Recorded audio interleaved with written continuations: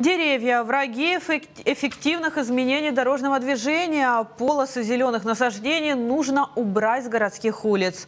Такое мнение во время заседания транспортной комиссии Одесского горсовета высказал член комиссии, депутат партии «Доверять делам» и по совместительству совладелец крупнейшей подрядной организации «Росдорстрой» Юрий Шумахер.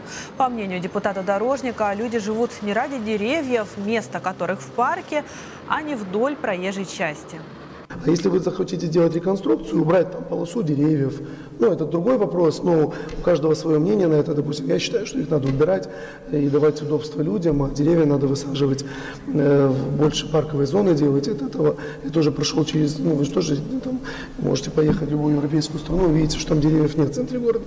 Ну, что, в принципе, надо, мы живем уже не ради деревьев. Це в історичних містах, там, де дуже вузькі вулиці, а взагалі необхідні дерева для того, щоб людям Прекрасно. було комфортно не вопрос. Тогда саме я себе дорожек не будет.